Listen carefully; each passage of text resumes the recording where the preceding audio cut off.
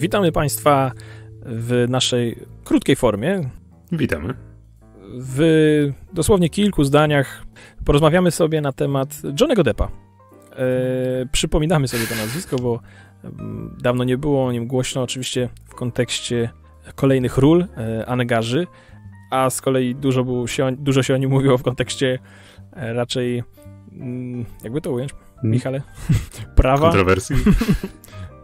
kontrowersji zdecydowanie, tak. Mm, ale no tak, no z pewnością w nowej, w nowej dziedzinie dla niego. Chociaż właściwie to znów nie będzie zdaniem kontrowersyjnym powiedzieć, że Johnny Depp jest kontrowersyjną postacią. No. Zgodzisz no tak, się? Tak.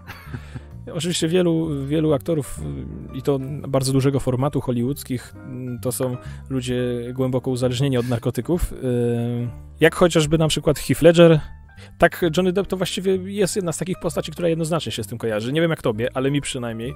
E, to jest, taka, to jest taki aktor, który poza tym, że jest charakterystycznym mm. aktorem, no, masło maśle, przepraszam za to powtórzenie, ale, e, ale jednocześnie kojarzy się z mi przynajmniej z narkotykami i z muzyką. Aha. Bo on chyba jest stałym elementem zespołu tego Vampire, tak, tak. coś tam, no, nie? To fakt. Więc, e, więc no, na pewno nazwisko, wokół którego kontrowersje, to nie jest hmm. nic nowego. Wiesz, mi się, mi się Johnny Depp przede wszystkim kojarzy jako no, bardzo charakterystyczny aktor, w sumie związany najbardziej z jednym konkretnym reżyserem i mówię tutaj o Timie Bartonie, bo mm, Depp grał tam wiele, mm. wiele, w wielu właśnie głównych rolach w filmach Tima Bartona i w sumie E, to jakby zbudowało jego markę, czy Edward Nożycorenki, e, czy Ed Wood, wiesz, to przez lata właśnie Johnny Depp z Timem Bartony był związany, ale myślę, że to takiej mm, mhm. naprawdę wielką hollywoodzką gwiazdą e, zrobiła go rola Jacka Sparrowa z Piratów z Karaibów. E, ale nie wiem jak tobie, ale w pewnym momencie, to był chyba rok 2013-14, gdzie Depp dosłownie występował w każdym filmie. No strach było otworzyć lodówkę, żeby Johnny Depp z niej nie wyskoczył, nie? I mm, w pewnym momencie mhm. był taki jakby przesyt Johnnego Deppa w kinie, nie? I wszyscy już mieli go dość, bo, bo on był dosłownie wszędzie, w każdym, w każdym większym filmie się pojawił Johnny Depp.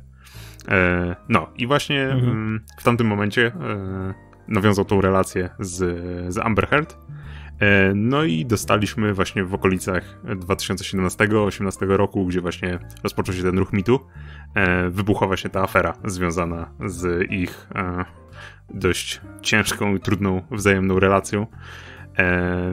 I oskarżenia Amber Heard, które wystosowała w brytyjskim magazynie The Sun, skończyły się tym, że Johnny Depp został skancelowany i odsunięty jakby od Hollywood i został tak napiętnowany i jako mm, taki odszczepieniec no tak, skreślony, tak, skreślony z branży.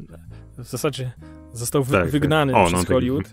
I, I właściwie takim tytułem, który chyba najlepiej oddaje, powiedzmy, ten proces jego wykluczenia, e, to były mm, te fantastyczne zwierzęta, nie? Mm -hmm. W, w, świecie Harry'ego Pottera. Tak, gdzie tak. on grał, jakby nie patrzeć, no, rolę głównego antagonisty mhm. E, i rzadko się to zdarza, że na tak charakterystycznym, na tak charakterystycznej postaci mhm. producenci dokonują zmian. Mhm. Chociaż wiesz co, wydaje mi się, że jego taką ostatnią rolą przed tym wygnaniem to była rola w Morderstwie w Orient Expressie, nie?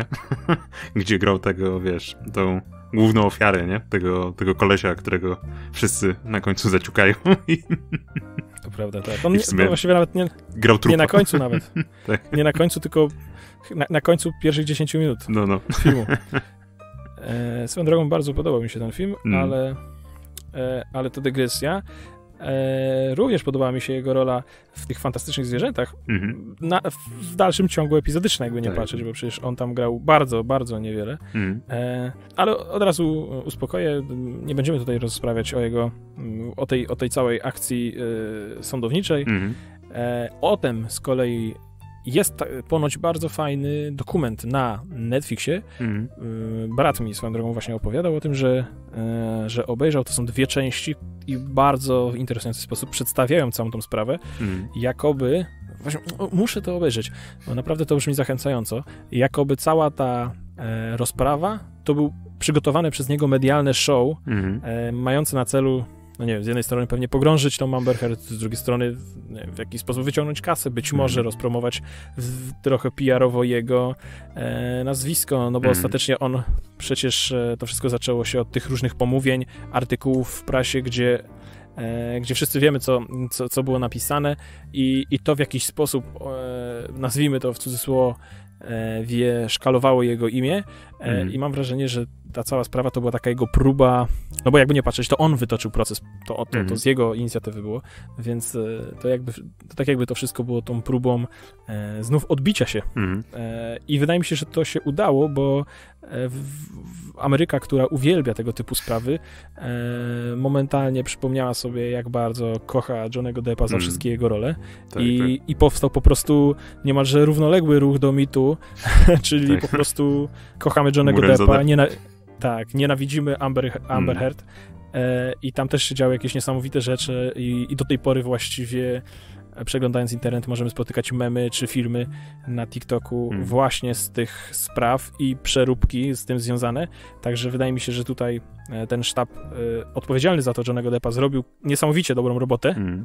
ale to wszystko prowadzi nas do, do tego, że są zapowiedziane kolejne filmy z jego udziałem i to nas najbardziej interesuje, bo nas najbardziej interesuje kino. Mhm. E, i, i, i cieszymy się, bo dosłownie dziś albo wczoraj, wczoraj chyba wysłałeś mi właśnie, Mhm. e, że powrót, John, powrót Deppa do kin Tak, tak. e, ze zwiastunem e, nowego zapowiedzianego filmu i to jest takie mm, w sumie trochę zaskoczenie, Mhm. a trochę, a trochę sam jestem ciekaw.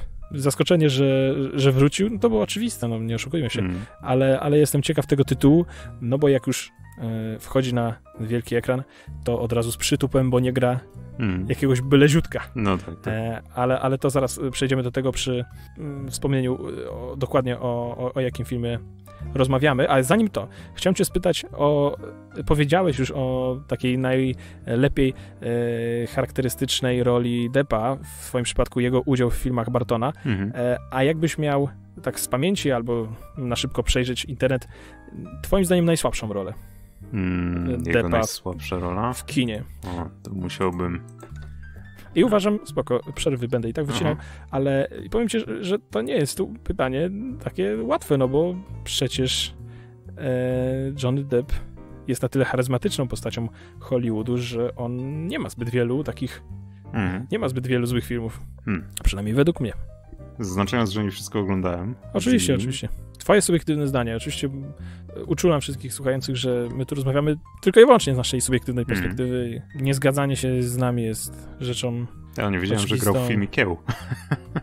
nie, to już lata 80., 90., to miał dobre role. Wiesz co? Tych słabszych z nim to raczej nie oglądałem, więc e, tutaj na pewno jak sobie przeglądam, to widzę, że mm, ten właśnie 2014-15 to właśnie był ten okres, gdzie on powoli już no, em, no był przesyt jakby Johnny'ego Deppa. Nie wiem, film Transcendencja na przykład, albo Pakt z Diabłem, albo Bezwstydny Mordekaj. Mhm, mhm. To właśnie była taka seria, gdzie no, już ludzie powoli mieli, mieli Deppa dość. No. Dosłownie od, od 2010 przez kolejne lata, rok w rok wychodził film z Depem. No, dokładnie. 11, 12, 13. Więc wiesz co, teraz mi się e, wydaje, I to niekiedy po kilka. teraz mi się wydaje, że po tej przerwie to, nie wiem, ja jestem wypuszczony depem. I, I w sumie nawet ta rola w tym, tego Ludwika XV, w tym najnowszym filmie, to jest, y, no, tak doszło do mnie, że depa mi, kurczę, brakowało przez te lata. I bardzo chętnie nawet zobaczył w francuskim filmie kostiumowym, w którym teraz, teraz właśnie wraca. E, pytanie, bo e, jak pewnie pamiętasz, ale został wyrzucony z roli Jacka Sparrowa. E, ale jak to w Ameryce, która bardzo lubi się odwracać o 180 stopni, w zależności jak wiatr zawieje i jak prasa o tym, ten, jak prasa i opinia publiczna, jakie ma osądy, więc teraz Johnny Depp z wroga publicznego numer jeden stał się stał się bohaterem numer jeden, więc teraz jak ludzie nie chcieli Deppa, teraz z powrotem chcą Deppa w, w roli Jacka Sparrowa, Wszędzie. tak. Łącznie z Disneyem, który go wcześniej wywalał, a teraz znowu by chętnie go przyjął w roli Jacka Sparrowa. No właśnie pytanie, czy Depp będzie chciał po tym, co, po tym jak go potraktowali. E, dobre pytanie. Wspomniałeś, e, że był wrogiem publicznym numer jeden. Mm. E, nadmieniłeś bardzo dobry tytuł z Depem w roli głównej, Wrogowie Publiczni. Mm. Bardzo polecam wszystkim, którzy nie oglądali. Uważam, że jest świetny. Mm. Wrogowie Publiczni. E, ciekaw jestem. Ja uważam, że niestety wyjdzie, -hmm. bo Zemsta Salazara e, to mogę powiedzieć, że to był według mnie najgorszy film, e, w którym on zagrał I, i też najgorsza rola, mimo że Johnny Depp sa, sam, przepraszam, E, nie Johnny Depp, tylko hmm. jak się nazywa ten pirat? E, Jack Sparrow. Jack Sparrow to mm, postać jedna z najciekawszych hmm. historii kina według mnie. A, a słuchaj, masz może na Filmwebie jesteś otwarty yy, z tą listą jego filmów? Nie, no ogólną na Google. A, okej. Okay. A nie wiem, czy wiesz, ale w 2016 roku Johnny Depp wystąpił w roli tytułowej w filmie yy, Art of Deal Donalda Trumpa, The Movie. jako Donald Trump. Co? Nie, nie wiedziałem o tym zupełnie. Też jestem zaskoczony, ale widać w 2016 roku zrobili ekranizację książki Donalda Trumpa, Out of Deal, gdzie John Depp zagrał Donalda Trumpa. O, rety. Ciekawe, Taka nie wiedziałem o tym. Od, od, odkrywamy wiele tajemnic Johnego Deppa w tym mm. momencie. O których on sam wolałby nie mówić. Zdecydowanie ten okres to już było trochę przegięcie. Finał. Tak, nie, tak finał jednak muszę sobie zrobić rok. przerwę. Być może właśnie temu służyła ta sprawa w takim razie. On szukał pretekstu do odejścia, wiesz. Mm. Czekaj, muszę zdjęcie zobaczyć z tego filmu, bo Johnny Depp, Donald...